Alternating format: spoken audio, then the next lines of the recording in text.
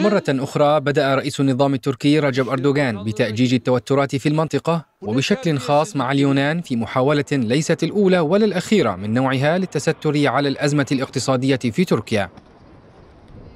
صحيفة كاثميريني نقلت عن مسؤولين بالحكومة اليونانية تأكيدهم أن أردوغان قرر تأجيج التوترات بالمنطقة عقب زيارة رئيس الوزراء اليوناني إلى الولايات المتحدة.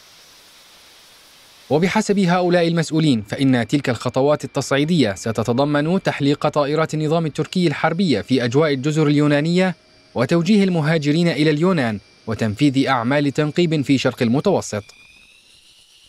الصحيفة اليونانية ذكرت أن أثينا تستعد لكل السيناريوهات التي قد يلجأ إليها النظام التركي عقب التحركات اليونانية في الولايات المتحدة كما أشارت إلى إمكانية انضمام اليونان إلى برنامج مقاتلات F-35 الذي تم إقصاء أنقرة منه بسبب حصولها على صواريخ S-400 الروسية.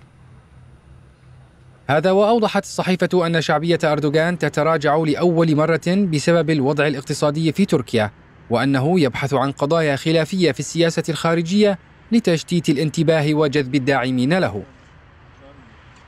كما لفتت الصحيفة إلى أن الحكومة اليونانية تتوقع أن تستغل أنقرة أزمة اللاجئين خلال الأسابيع المقبلة مشيرة إلى ارتفاع معدلات عبور اللاجئين إلى اليونان خلال شهري أبريل الماضي ومايو الجاري مقارنة بالفترة عينها من العام الماضي.